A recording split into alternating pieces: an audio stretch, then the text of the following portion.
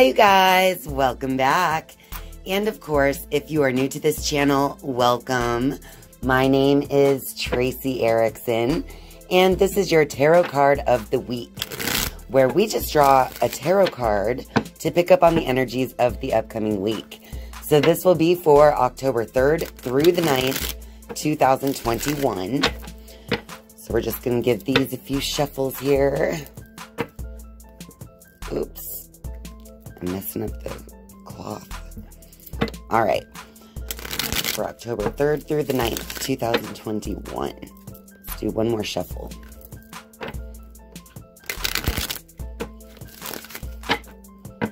All right.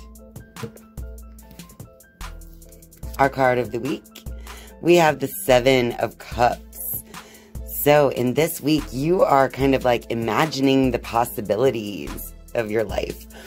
Um, maybe you have a lot of desires and you're not quite sure where to put your attention because there's so many different places that, uh, so many different possibilities really that you are seeing offered to yourself in your mind. So I feel like this is like kind of a good omen card in the sense that, you know, the world is your oyster, so to speak.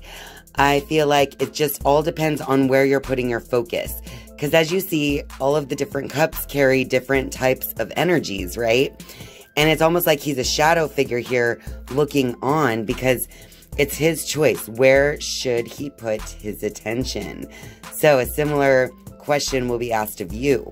Are you going to be focusing on the positive or the negative in the upcoming week? So that'll be for October 3rd through the 9th, 2021. And of course, we're going to shuffle the Goddess Guidance deck and get a little advice from the Goddess Guidance to go with our tarot card of the week. Oh, there we go. Of course, it flew out. It's on the floor. All right. We have Aine, I believe is how you would say it. It says here, leap of faith. Oh, a little hair on there from falling on the floor. Take a risk and put your heart's true desire into action. So this is um, some great advice, honestly, from the Goddess Guidance regarding the energies of the upcoming week. Uh, like I said, all these possibilities are laying before you. So it's time to take a risk and actually find your true heart's desire. Make sure you're focusing your attention on that desire that you want to accomplish in the upcoming week.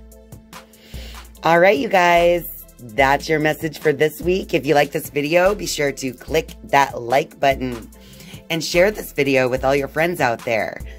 And of course, if you are a viewer but not yet a subscriber, I would love for you to click subscribe down below.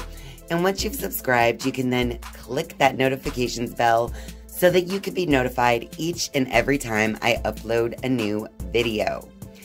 Thank you guys so much for watching and spending your time with me. I love you. And I'll see you next time. Bye.